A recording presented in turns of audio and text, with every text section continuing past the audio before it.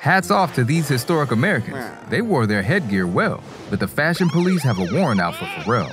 Welcome to the Museum of Artifacts that made America and the story of a top hat that helped make Abraham Lincoln America's finest president.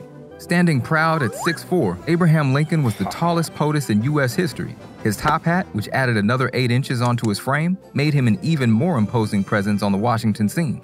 Born in 1809 in a one room log cabin in Kentucky, Lincoln's early life was marked by poverty.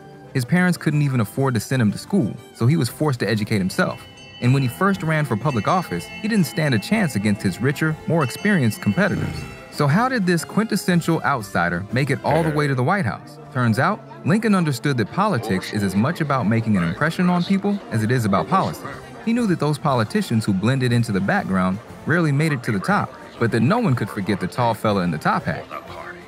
Lincoln bought his hat from Washington based hat maker J.Y. Davis, whose label is stitched into the crown. He had it fitted with a black mourning band to remember his 12 year old son, Willie, who died of typhoid fever the year after Lincoln was elected president. And he liked to keep it kinda scruffy to accentuate his working class roots and common everyman image. And he even found some practical uses for it, storing and transporting important documents on the move. It's no surprise that Lincoln's hat became his trademark. It featured heavily in the press when he led the North to victory in the fight against slavery during the American Civil War.